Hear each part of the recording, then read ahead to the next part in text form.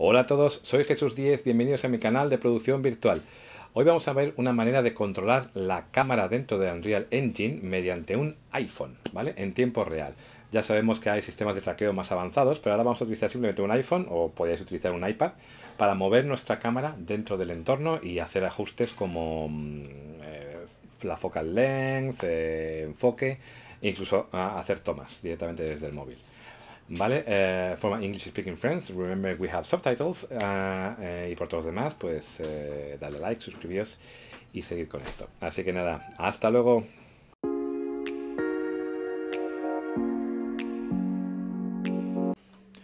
Pues vamos allá.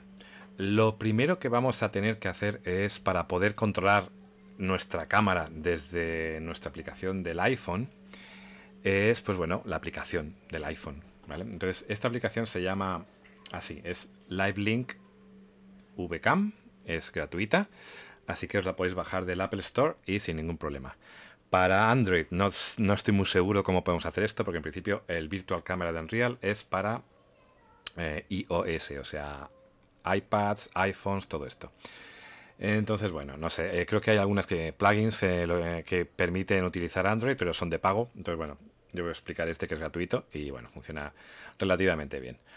Esto es lo primero que tenemos que hacer. Luego tenemos que hacer una serie de cosas en nuestro proyecto. Yo aquí he abierto el de mm, Abandoned Apartment, que está gratuito en Unreal, o lo estaba al menos, que está muy chulo. Con un personaje que he puesto aquí, un monstruo que he puesto fuera, que bueno, que es un plano, no, es una foto, vamos, es, truco total. Pero bueno, entonces, plugins que te necesitamos. Eh, necesitaremos, por supuesto, Virtual Cam, Virtual Camera, ¿vale? Habilitamos. Necesitamos Remote Session, habilitado. Y necesitamos, por supuesto, LiveLink, que es nuestra forma habitual de comunicarnos con Unreal. LiveLink activado. Eh, cuando le deis, eh, os pedirá que reiniciéis, así que lo hacéis y ya está, ¿vale? O si queréis os podéis esperar, porque hay que hacer unos settings también en el proyecto que quizá os hagan también reiniciar. Así que mejor esperarse. Vamos a Settings, Project Settings. el primero que tenemos que buscar es uno que se llama Frame Buffer. Ah, este es Frame Buffer Pixel Format. Eh, debería estar en 8 bits. ¿vale? Normalmente está en 10 bits, que es como más calidad de imagen. Pero para poder transmitir esta información en tiempo real al móvil, necesitaremos eh, este, el de 8 bits. Al hacer esto seguramente os pida reiniciar, así que cuidado, ¿vale? Y por último, lo que tenemos que hacer es establecer la comunicación. Si os vais aquí abajo a UDP Messaging, eh, este sistema utiliza mensajería de UDP. Entonces lo que tienes que hacer es configurarla. Bueno, aquí yo la tengo configurado, pero os voy a explicar cómo se hace esto, ¿vale? Esto en teoría está aquí cerrado. Así que bueno, lo primero, por supuesto, se tiene que estar habilitado. Enable Transport. Unicast Endpoint, lo que tienes que hacer es colocar la dirección de vuestro eh, ordenador. ¿Vale? Eh, la dirección IP, ¿vale? Esto es la dirección IP acabada en 2.0, ¿vale? Si por lo que sea em, no funcionara, a veces se puede poner 6666. Pero bueno, ¿cómo se averigua la IP de nuestro ordenador? Pues nos veis aquí, pulsáis CMD, Command Prompt, sale esta ventana, entonces tecláis IP config y aquí os sale en IPv4 address la dirección, ¿vale? Esta es la dirección que deberíais poner aquí, ¿vale? Eso por un lado.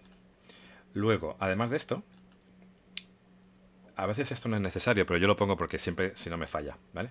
Hay que añadir dos static endpoints. Básicamente es eh, desde dónde se comunica hasta dónde se comunica, ¿vale? Digamos, si esto es un puente, los dos lados del río, ¿vale? En este caso, normalmente está así, está en sin nada, ¿vale? yo lo que añado es uno, que es justo el que teníamos aquí. Ese sería nuestro ordenador. Y añadimos otro que sería el móvil. A ver, ¿dónde está? Aquí está. ¿Vale? En este caso, eh, para averiguar la IP del móvil, tenéis que iros a, a la wifi de vuestro móvil y averiguar la IP. Eh, os lo digo ahora en un momentito. En nuestro iPhone lo que tenemos que hacer es irnos a mm, mm, mm, ajustes. Vamos al wifi y aquí en la wifi en la que estamos conectados nos sale la IP, aquí abajo. ¿Veis? Dirección IP ta, ta, ta, ta, ¿vale? Entonces, copiamos este valor y lo colocamos aquí.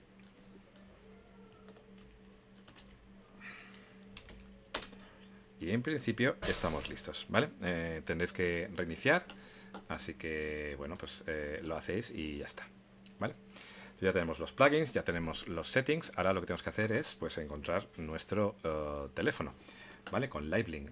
Lo que tenemos que hacer entonces es lanzar la aplicación, que ya entiendo que os habréis instalado. Entonces abrís la aplicación Aquí ya la tenemos abierta y simplemente hay que dejarla abierta, ¿vale? O sea, no hagáis nada más. De momento aquí dice introduce la IP para conectarte. De momento no lo hagáis, ¿vale? Simplemente tenemos que abrir la aplicación. Esto ya está mandando una señal a Unreal y lo que vamos a hacer es encontrarla. Si, si os conectáis primero puede dar errores, incluso puede, incluso puede provocar crash, ¿vale? Así que, bueno, vamos para allá, ¿vale? Eh, entonces vamos a buscar, ya tenemos habilitada la aplicación y ahora vamos a buscar nuestro móvil. Nos vamos a LiveLink, ¿vale? Si no lo tenéis abierto, lo abrís desde aquí, Windows LiveLink. Y aquí sale esto. Y en Source, Media Bus Source, en teoría, os debería salir vuestro móvil. Si no sale, es porque hay veces que, que si la aplicación se ha cerrado o si sale el salvapantallas del móvil, no sale. Lo que voy a hacer es reiniciar la aplicación y volver a probar. Así que vamos a intentarlo. Probamos. Y ahora ya me sale. Aquí está, ¿vale? Eso, eso me pasa mucho. Si, si os apaga el móvil o se pone con el pantallas o lo que sea, hay que volver a hacer esto. Le damos y ya estamos conectados en verde. ¿Vale? Perfecto. Bueno, pues ahora el siguiente paso es eh, colocar nuestra cámara virtual. Si habéis habilitado los plugins de Virtual Cam y todo esto, os tiene que salir aquí una opción que sea Virtual Production, ya que tenemos Virtual Camera 2 Actor. Entonces, nos lo vamos a llevar aquí y la vamos a colocar a mano, así, desde aquí, donde la queremos, la posición inicial que queremos. ¿vale? Eh, vamos a ver, yo voy a colocar mirando quizá al monstruo este. Me la llevo para atrás, que esté detrás de ella. Vamos a ver dónde está esto, más o menos aquí. Y aquí está ella, ¿vale? Vamos a alejarlo un poquito. Y esta va a ser la posición inicial que en la que nuestra cámara va a salir una vez que nos pongamos con esto. ¿Vale? Pues nada, eso es lo primero que tenemos que hacer. Ahora, vamos a ajustar unas cuantas cosas.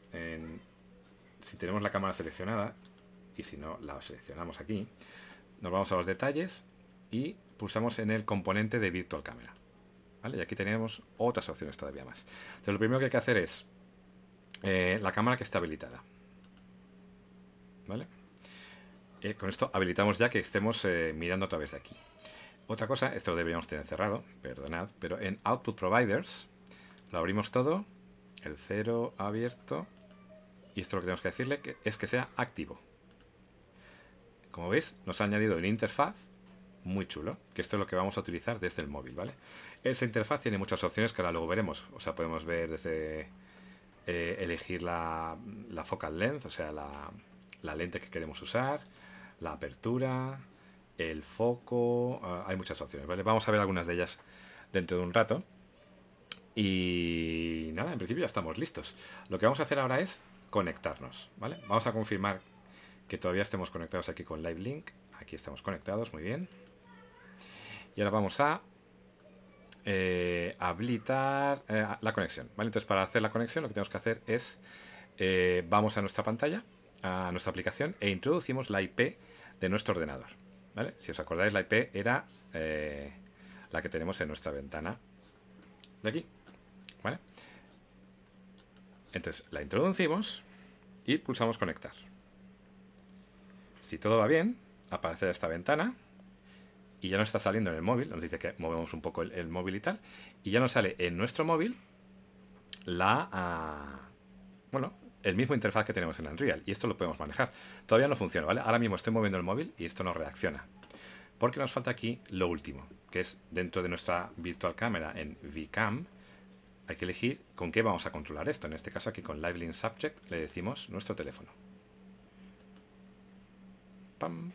Y ahora voy a mover el móvil y ahora sí que está funcionando el móvil en tiempo real. Veis que van pocos saltos y esto es porque me estoy conectando por Wi-Fi, ¿vale? Entonces, bueno, es un poco. Sería mejor hacerlo por LAN, ¿vale? Por red local, porque aquí es que se atasca mucho. Y eso ahora mismo es inevitable, ¿vale? Entonces ahora podemos mover la cámara, hacer lo que quiera. Y como os decía antes, podemos pulsar en los botones de aquí arriba. Voy a tocar aquí arriba en lo de lente. Le digo, a ver, quiero alejarme un poquito, un 25, por ejemplo, aquí un poquito más lejos. ¿Vale? Puedo ajustar. Uy, perdona, que me caigo. La apertura, ¿vale? Que sea un poco más oscuro o más brillante. Podemos también eh, tomar una foto, si queremos, con el botón de abajo aquí a la derecha. Clic. E incluso podemos hacer eh, grabaciones, ¿vale? Entonces, si le damos aquí este, al botón de la izquierda al candadito, a ver, lo voy a intentar dar, que mi teléfono es un poco pequeño.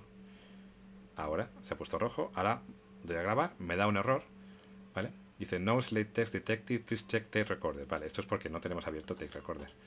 Entonces vamos a Take Recorder, que lo tengo aquí, o si no, en Windows Cinematics, Take Recorder. Esta ventana la tienes que tener abierta, ¿vale? Para que detecte esta información. Y ahora si le damos a grabar, le estoy dando al botón, ¿ves? Automáticamente se pone a grabar. Voy a, mover un poco la cámara, por aquí, izquierda, derecha. Oh my god, ta ta ta ta ta ta. ta. Paramos, le doy otra vez al botón rojo Estoy actuando en el móvil, ¿eh? nada más.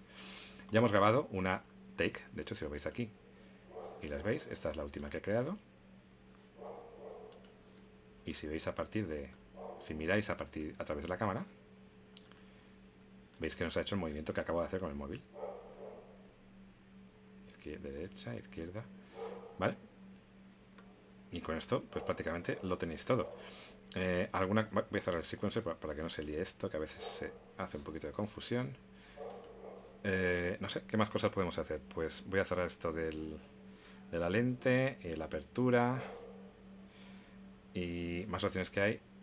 Mira, a veces pasa esto que se cierra un poco la, la ventana, es un poco rollo. Voy a intentar solucionarlo si nos vamos a cámara virtual, detalles y le digo que no quiero nada de esto, no quiero la interfaz si lo vuelvo a arrancar, ya me sale bien, ¿vale? A veces eh, no es, lo más infalible del mundo. ¿Qué más cosas podéis hacer, ¿vale? Podéis también, eh, pues por ejemplo, mover objetos. Podéis decir, pues mira, esta chica, la selecciono. Si es que puedo. O esta planta. A ver que no se ve nada. Pulso este botón. Y la puedo mover ahí mismo. Vale, puedo decir, vale, tú quiero que estés más a la derecha. Perdona que es que mientras esto se me mueve. Ah, claro, que estoy aquí. No estoy pulsando aquí todavía. A ver. Bueno, la cosa es que si impulsáis aquí en estos controles podéis mover perfectamente los objetos desde vuestro móvil. ¿Vale? Otras opciones que tenemos es ver las películas que hemos hecho, eh, darle a una secuencia, porque si tenéis, una animación podéis darle a play y luego grabar, que eso es muy interesante, o ajustes de foco. Yo puedo elegir aquí quiero enfocar, si quiero enfocar a alguien puedo seleccionar un objeto. No sé si puedo elegir la chica. A sí, creo que sí, estoy enfocando a ella. ¿Vale? Y cosas así. Bueno, es un poco una introducción a esto, ¿vale? Luego ya tienes que poneros a jugar eh, y ver todas las opciones que hay. Tenéis, por ejemplo, también mapas, ¿vale? Para ver dónde estáis, colocar eh, eh, zonas para luego acceder rápidamente, cosas así. Está bastante completo. Y lo mejor es esto, que podéis mover el móvil y hacer el plano que queráis. Vale, yo ahora me voy hacia atrás, me puedo acercar hacia ella lentamente, voy a acercarme tú. Esto es un poco impreciso. Esto tenéis que hacerlo quizá con un trípode, con algo real.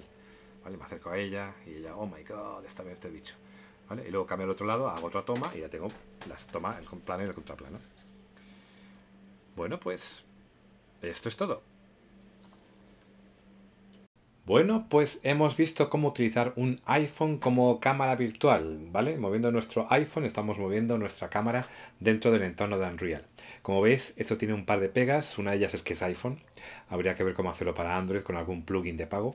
Y la otra es que, bueno, como habéis visto con Wi-Fi, a veces va un poco, bueno, a veces se pierde la conexión, a veces va un poco a saltos.